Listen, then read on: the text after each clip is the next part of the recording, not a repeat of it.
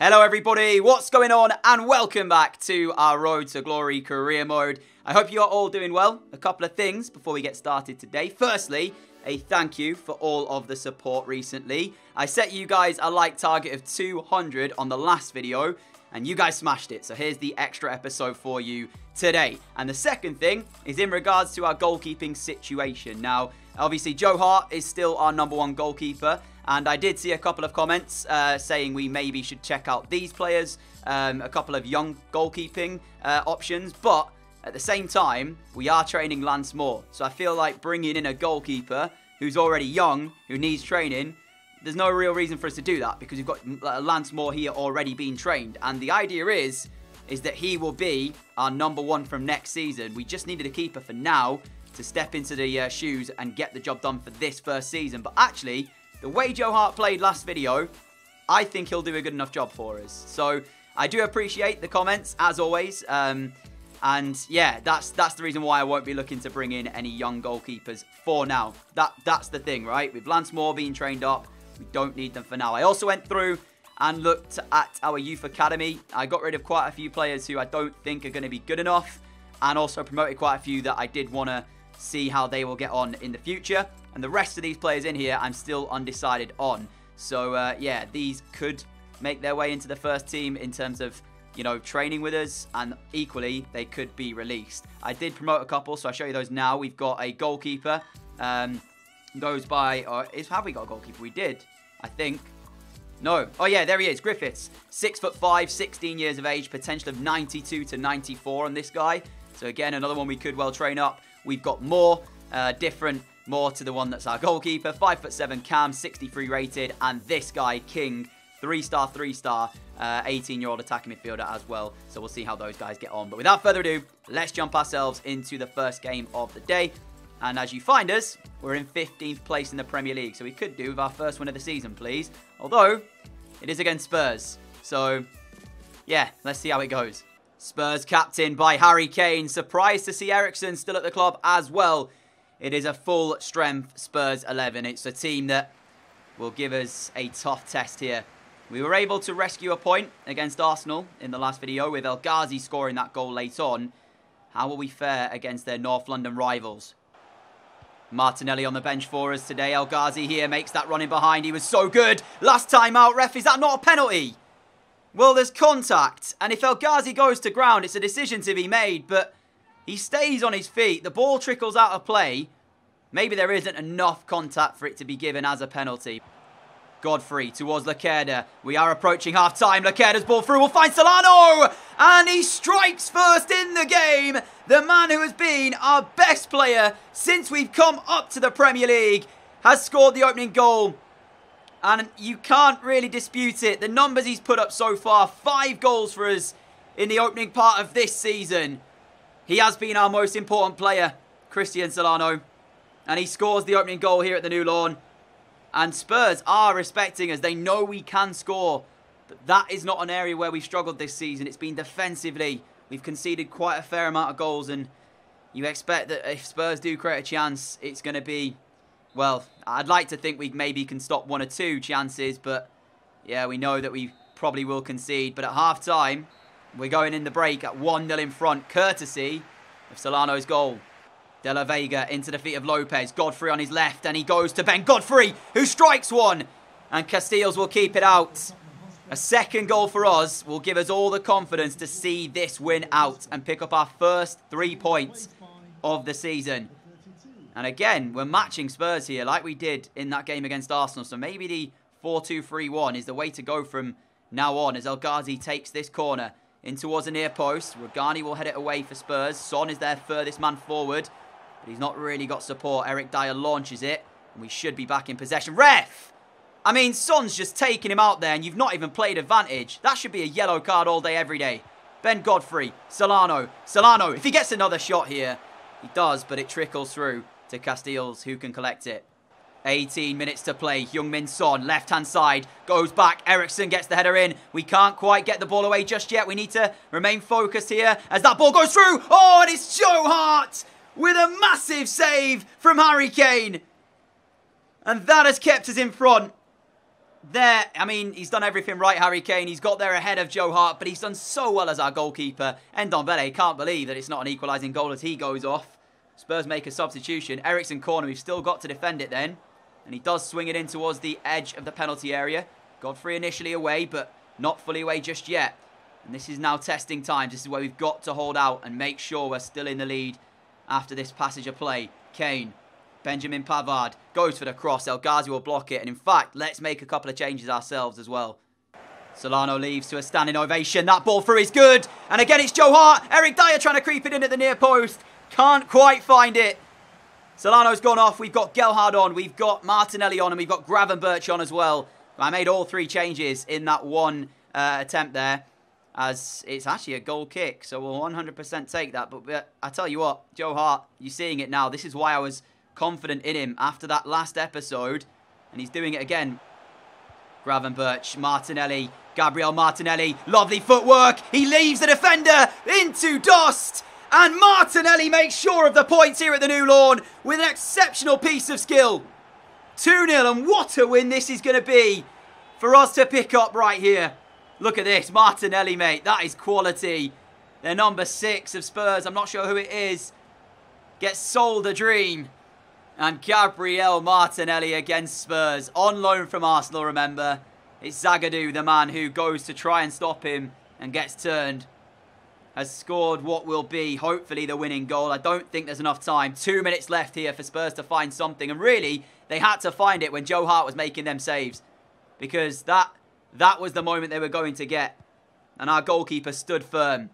As time ticks away, we're going to our first win of the season. I didn't expect we'd get it against Spurs, I've got to admit. I thought maybe we'll be lucky to get a draw here, but yeah, we are fighting for every single point available. Eriksen with a cross, near post, Jose Antonio away, only as far as Carvalho, whose volley had venom behind it, but not the accuracy. And it goes over and that's it. As Joe Hart will kick this ball away, it will finish the game and it's going to be 2-0 the final score. There you have it. Get in! Straight into our next game then, away at Vicarage Road against Watford, who have had a very good start to the season. Martinelli comes in, El Ghazi drops to the bench in our only change for this one. So don't change what's working pretty much is my thought process. And as Martinelli scored, I didn't feel like I could leave him out of the team. I even contemplated dropping maybe Lopez to the bench because He's got one goal, one assist to his name so far in the Premier League, but I just felt like maybe he needs like a little mini break. And uh, I thought maybe we'd bring Martinelli in for him, but no, we've dropped El Ghazi instead. But this Watford side could prove to be quite a uh, quite a decent side. Thuram already to Peñaranda as they look for their first chance. We're just trying to do what we can to prevent the shot from coming in. Sissoko now working the space on the edge of the penalty area. Goes to Cyprian. Ball through. Peñaranda's in! And he squeezes it past our goalkeeper. And after five minutes, we're seeing what this Watford side is all about. Vicarage Road bouncing. And I had a sneaky feeling coming into this game that we might be in for a bit of the thumping. I'm hoping I'm wrong. I'm hoping that we'll get straight back into this. But they've been very impressive in the early stages, have Watford. And straight from kickoff, they mean business. Free kick Watford. It looks like it will be Cyprian to take it. It is. And Hart will keep it out as Lacerda just smashes it away into touch. We've got two minutes to go until half time. And we're not even really in this game. We've had to defend for pretty much 40 minutes of this. And there is half time. We're losing. And we need to find an answer because we're not really producing anything in the attacking sense. We've made our first change of the game with El Ghazi replacing Martinelli as Lopez will find Pedro de la Vega. And back post is El Ghazi, but de la Vega didn't see him. He went to Solano instead. And I actually think that El Ghazi had got the run on his man and was in front of him. He just needed the cross to find him. As we've given it away straight to Jarrod Bowen here. We've got 18 minutes to try and salvage something in a game where I don't feel like we deserve to because Watford have been the better side here. Last minute of the game. If we're going to do something, it needs to be now as Gravenberch, fresh legs. He's running at this Watford back line. And Gravenberch looks to place one. But he didn't quite find it. And there it is then. It's a defeat from Vicarage Road. We may have just been on a high after beating Spurs, but we're brought right back down to earth with this defeat here. And fair play Watford. They look like they're a good side this season. They look like a team who maybe could push for European football. They're playing with all the confidence in the world. We have a cup game against Colchester. I set up my second team so that we can play them in the cups because we're not bothered about the uh, any of the cups this season. Uh, but as you can see, when I go to actually go into the sim, it's been in the game for a while, this bug, it doesn't actually use your second team. So I'm going to have to swap it all around using the main squad, which is a bit annoying. But um, yeah, I don't want to risk any top players. So I'll be back in a second once the team is ready. With it being away as well, I wouldn't be surprised if we lost the game, but it's a 3-0 win. Gelhardt scoring twice and Mitchell with a goal as well. Injury to Strand, which doesn't really matter because he's like 58 rated anyway. So yeah, that's not important. Um, as bad as that sounds, but we're not going to miss him. Thanks for giving me the chance, says Astley. He was literally brought in to just in case we have injury, but I guess he'll be useful in the Cups. I don't know why El Ghazi's saying he's disappointed about not playing. Um, maybe I missed that. Maybe it wasn't against Colchester he was disappointed in. But it's West Brom in our next game at home. And they are a point behind us in the table. Talk about a relegation six-pointer. This could be it, ladies and gentlemen. Uh, especially given the, the fact that both of us have only won one game this season. So if either one of us win this, we're leaving that team. And you can see the rest of the bottom of the league as it pans out. Fulham yet to pick up a point. Wolves on one, and that came against us. Leicester, what are they doing down there? Three points in the relegation zone. A win could climb us up as high as 11th place. The team that won the championship against the team that won the championship playoff final.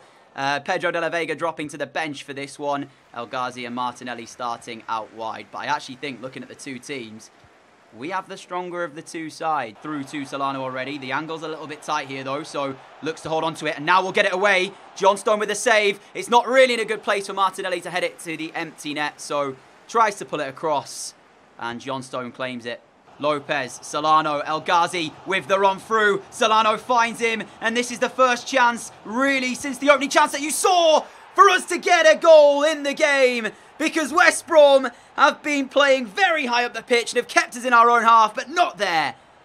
That start that we made, you know, we had that first chance. Honestly, since that point, I've struggled to get out of our of our own half, and it just felt like we have to hit them on the counter, and it did work out like that. El Ghazi bursting forward, smashes it into the far corner. We lead here by a goal to nil. Lopez with Solano making the move just in front of him, and he's picked him out brilliantly. And it's a top save by Sam Johnstone to deny Solano his sixth of the season. He did everything right, did our Colombian striker. Low, bottom corner. However, Johnstone made the save. And actually, West Brom have changed their tactics, which is playing into our hands a little bit more. They're stepping off now and allowing us a little bit more time on the ball to keep possession, which works better for us than what they were deploying before in trying to prevent us and, and close us down and play quite a high line. They've stopped doing that now. I think they're a little bit cautious about the counter-attack that we can do, the pace that we've got. West Brom might just get one last opportunity. The ball over the top towards Burke, who controls it. Now the cross into the middle. Tadebo needs to win that, and he has done. And that is it. It's a slender 1-0 victory, but we will take that. It's against a side who we might be fighting with, so it's points taken off them. It's points added to us. And that is a great result. Chelsea's last game, a 3-1 win over Manchester United. And they've got David Neres in their team who scored five in his last three. Been on my channel before, Neres always seems to have a good game against me, whether it's my player career mode or just general career mode. Um, he always he always turns up. But I was actually looking at the Chelsea backline then. The back four, I think it's quite weak. And if you look at our attack, that's our strength. So, working that out, we might get a fair few chances here today.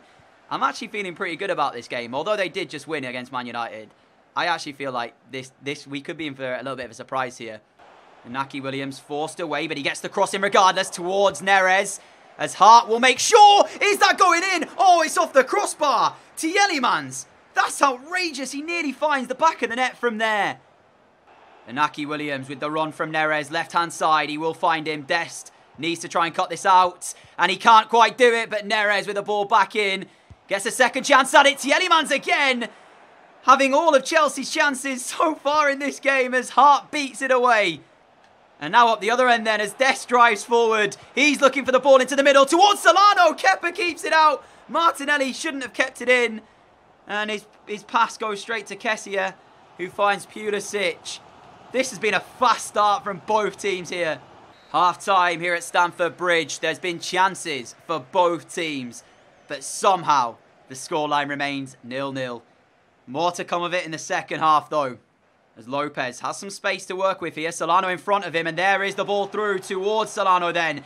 He's up against Uri, and he's looking to fake shot it back towards... No, it doesn't go to Lopez. It goes to Martinelli, and he's made it count. Gabriel Martinelli has scored again against the London club. And he's about to go off as well. Pedro de la Vega being primed and ready to come on in his place. And Martinelli, what a way to go off. And look at the Forest Green fans inside the ground. They're buzzing. Solano. It's great work initially, but then the pass. I mean, Lopez does commit to the run and he gets a little bit in front of the ball. Martinelli, though, look at that. First time on the right foot. Pass Kepa. We said that there was more to come of what we saw in the first half. And I'm glad to say it's us who's got the goal. Solano, great control, and there it is! Another famous win for Forest Green at the hands of Chelsea. Gabriel Martinelli is the man to get the points for us. And our performances today have been sensational. We've not dominated the games, but we're fighting so hard for these points, defending resiliently. And to say the very least, right, we've conceded one goal today. When you compare that to how many we conceded in our first three, that's a massive improvement. We can be proud of the way we played today. We haven't scored as many as I'd hoped, but our defence has been much, much better. So let's see where that puts us in the Premier League table before we go. So, results today see us climb into ninth place, just behind Manchester United on goal difference. Villa up into seventh. Watford, third place, three points behind Liverpool, who lead the league uh, at the moment.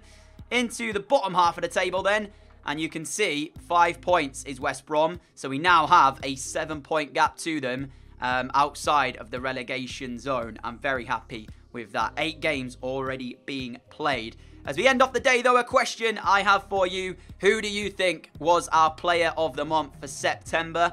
Um, we are into October now. I'm going to give you two options, and there'll be a little poll at the top right-hand side of this to vote on. Joe Hart is the first of those two players.